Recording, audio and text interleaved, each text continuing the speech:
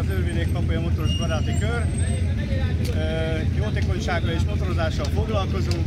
Ez már a hetedik alkalom, hogy megrendezik a rendezvényünket.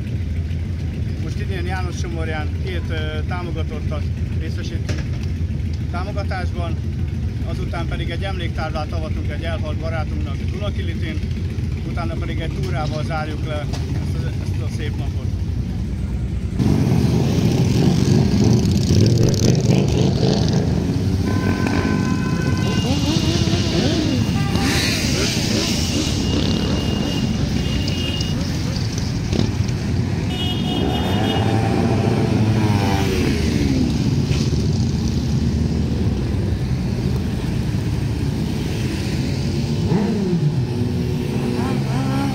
Bye.